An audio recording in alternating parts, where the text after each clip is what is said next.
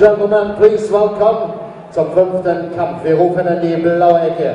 Er ist angereist aus Köln, meine sehr verehrten Damen und Herren. Herzlich willkommen, Burak Sakir.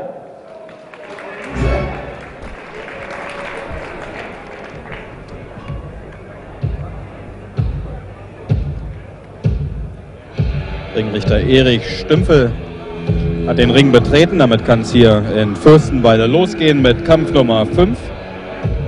Ein Kampf im Halbweltergewicht auf sechs Runden angesetzt.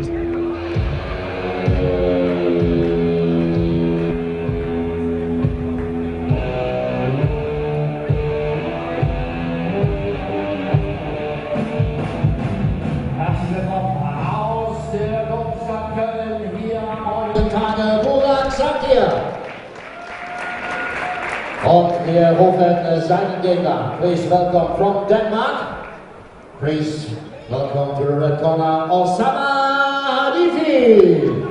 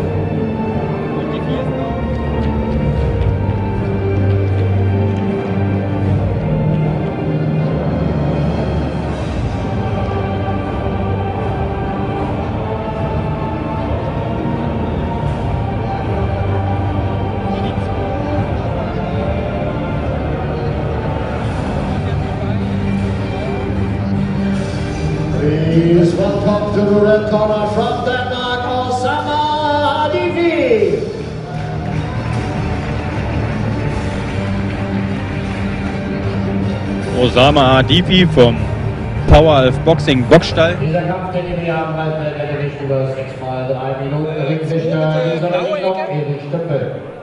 Trainer bei Hadifi Hartmut Klappert, der Vater von Nick Klappert, der heute hier den Hauptkampf bestreiten wird. Klappert ist ein ausgezeichneter und erfahrener Trainer, vor allem sehr vielseitig, der sich auf die individuellen Einheiten der Sportler einstellen kann, nicht nur seinen Schuh abfährt. Hadifi kommt hier mit acht Kämpfen, acht Siegen. Burak Sakir, vier Kämpfe, davon kein gewonnen. Das wird hier wahrscheinlich ein sehr, sehr einseitiges Match, vorsichtig ausgedrückt. Wer ist drauf?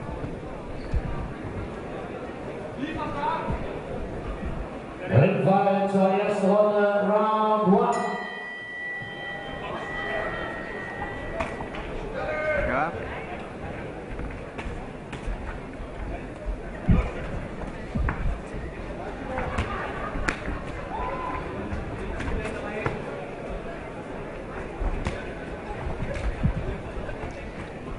Da trifft Sakir sogar mal.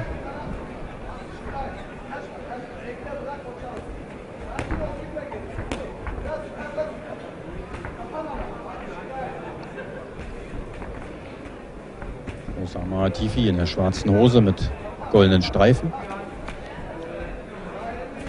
Burak Zakir, der 18-jährige Mann aus Köln, in der blauen Hose. Kampf ist auf sechs Runden angesetzt. Wahrscheinlich wird Hadifi die volle Distanz nicht brauchen.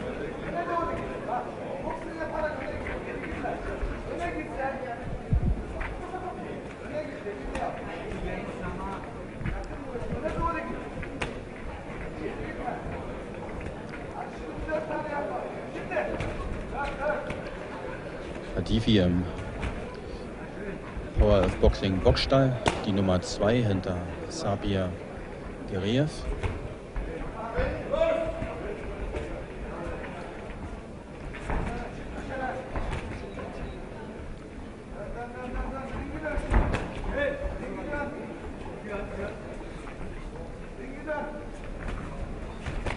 Der Kampf ist im Halbweltergewicht angesetzt.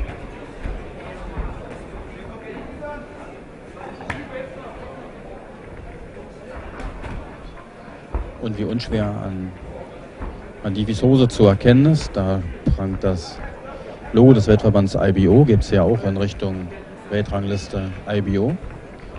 Die IBO sanktioniert den heutigen Kampfabend und Nick Klappert wird um den internationalen Titel boxen gegen Boris Knesewitsch. Titel der IBO. Und hier gab es hier schon ordentlichen Treffer. Gute Rechte von Hadifi, die hier Burak Zakir ordentlich durchgeschüttelt hat. Der versucht hier mit wenig Gegenwehr und guter Deckung voranzukommen.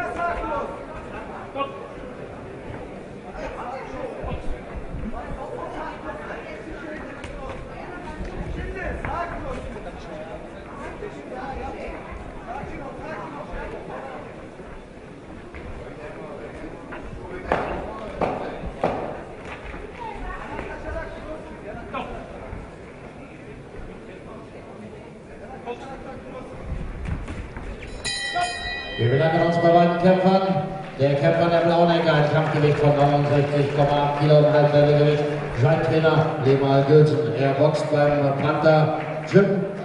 Kickboxen 35 Kämpfe, 25 gewonnen, davon 7 verloren, 3 unentschieden, 5 Mal geboxt, davon 2 Mal gewonnen, 3 Mal verloren. Er ist 18 Jahre alt, angereist aus Köln. Herzlich willkommen am heutigen Tage hier in Fürstenwalde, Burak Sakir. Das war ja nicht der korrekte Kampfrekord. Der korrekte Kampfrekord sind vier Kämpfe, davon keinen gewonnen, alle verloren. Ein junger Mann hier mit etwas Kickbox-Erfahrung, wie wir erfahren konnten.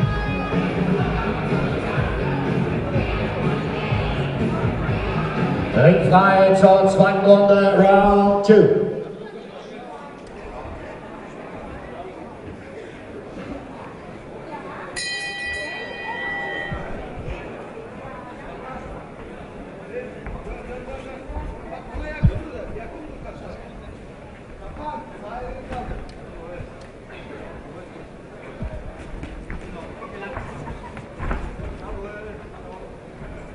Und zweite Runde. Osama Hadifi in der schwarzen Hose mit goldenen Streifen gegen Burak Zakir in der blauen Hose. Underdog gegen hoffnungsvolles Talent. Talent in dem Fall Osama Hadifi aus Dänemark.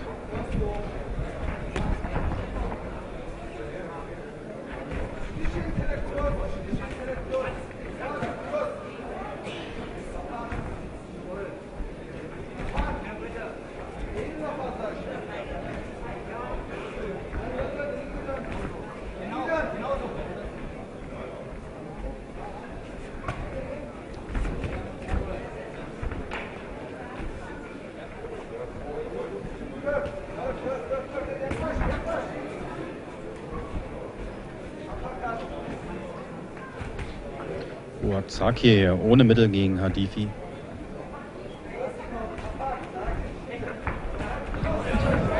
Nur gestolpert, aber symptomatisch für den gesamten Kampfverlauf.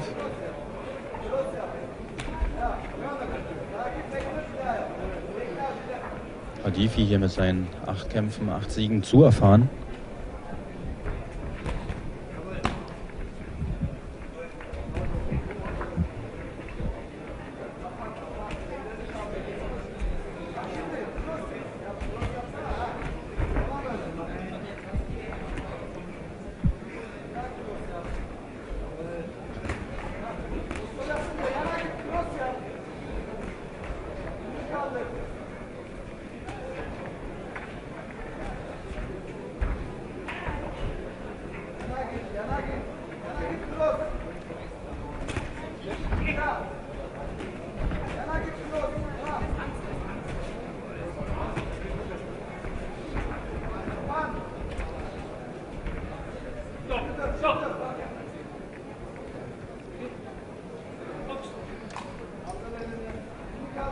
Ringrichter Erik Stümpel.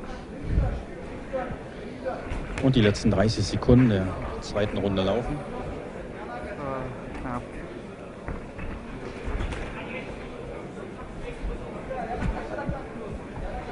Sehr einseitiger Kampf. Osama Hadifi in der schwarzen Hose macht hier den Fight, holt sich hier Runde um Runde. Burak Zakir mit ein bisschen unorthodoxen Mitteln kann ja Wir bedanken uns bei beiden Kämpfern. Nicht gefährlich werden. Der gebürtige Marokkaner lebt derzeit in Dänemark 66,5 Kilo, wird heute betreut vom Team Klapper der Box sonst im Boxgym Kopenhagen. Acht Kämpfer davon, acht durch K.O., erst 28 Jahre alt. Angereist aus Kopenhagen. Herzlich willkommen in der roten Ecke, Osama Hadifi.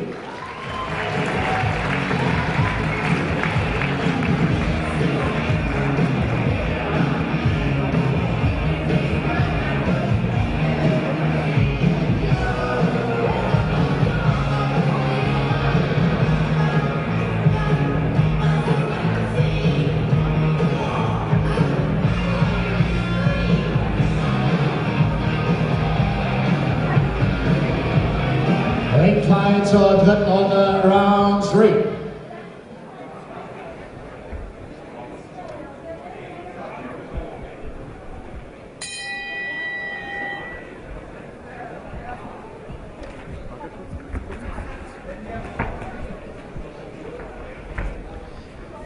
dritte Runde im Halbweltergewicht, angesetzt auf sechs Runden.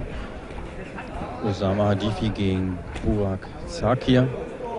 Burak Zakir, 18 Jahre, vier Kämpfer, vier Niederlagen. Osama Hadifi, großes Talent. Hauptsächlich im Leichtgewicht in Erscheinung getreten.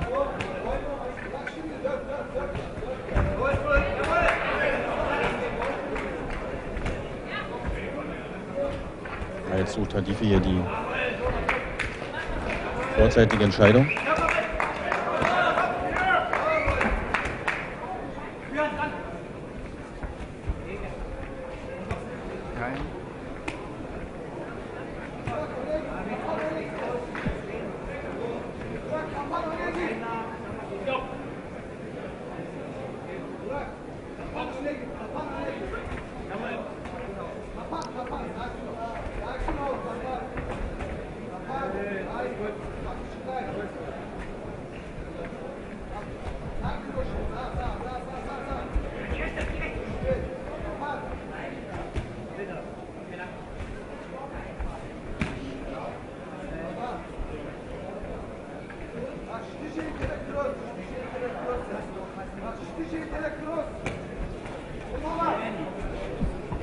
Klappert und Guri Knesevic, die beiden Hauptkämpfer, sind noch nicht in der Halle. Die bereiten sich jeweils im Hotel bzw. Nick Klappert bei sich zu Hause vor.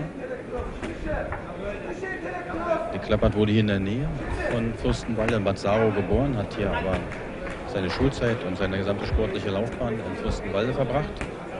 Entsprechend viele Fans kommen auch für seinen, für seinen Kampf. Unter dem Motto Willkommen zu Hause. Der letzten Kämpfer hat er hauptsächlich im Ausland bestritten. Und hier im Ring unverändertes Bild. Hadifi punktet mit leichten Händen gegen den chancenlosen Burak Saki aus Köln.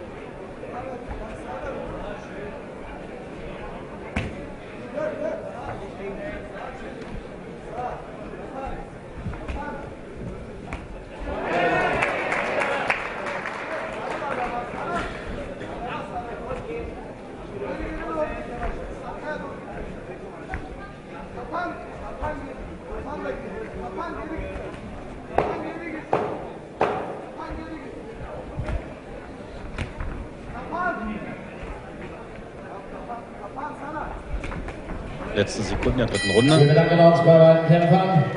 Meine sehr verehrten Damen und Herren, liebe Boxsportfreunde, es ist an der Zeit, dass wir uns an dieser Stelle mal bei den vielen freiwilligen Damen und Herren, die im Hintergrund helfen und ehrenamtlich am heutigen Tage tätig sind, ein herzliches Dankeschön vom Publikum hier in Fürstenwalde.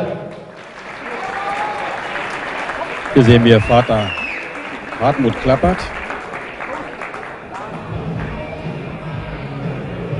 Als Trainer bei Osama Hadifi. Burak Zakir. Hier chancenlos gegen so einen erstklassigen Mann. Kann man nicht vorstellen, dass er da auch Lehren ziehen kann. Ja. So viele Runden nur Kugel bezieht, wird da keine positiven Aspekte erkennen 4. Wahrscheinlich noch zu früh für den erst 18-Jährigen. Hadifi immerhin schon 28, ein gutes Alter im Leichtgewicht.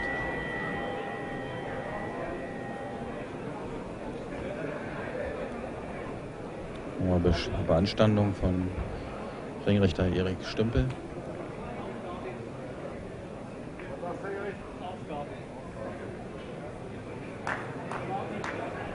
Ups. Ja, warten wir mal ab, ja, was er ja, da hat. Sorry, ich wusste nicht, dass ich drauf bin.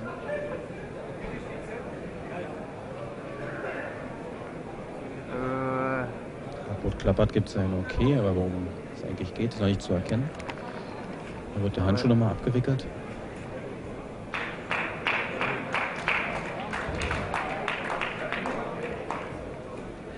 Bei Herr Diffie werden beide Handschuhe geöffnet.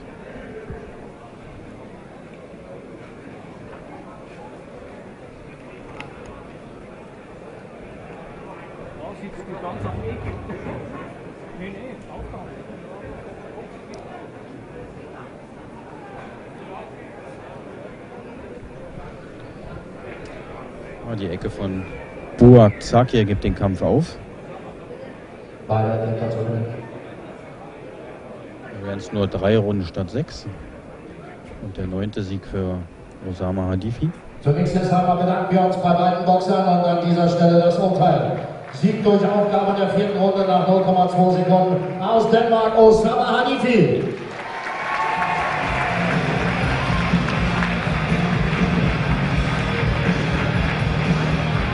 Gute Entscheidung für Burak Shakir. Der hätte hier in den nächsten Runden nichts mehr reißen können.